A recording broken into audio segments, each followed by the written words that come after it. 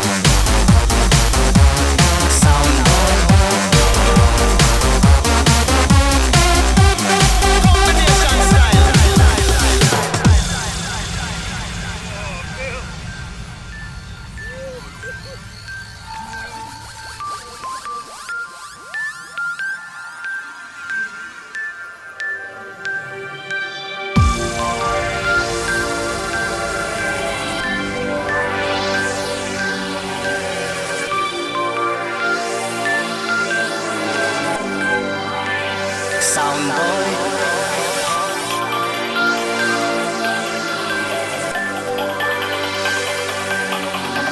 Sound boy.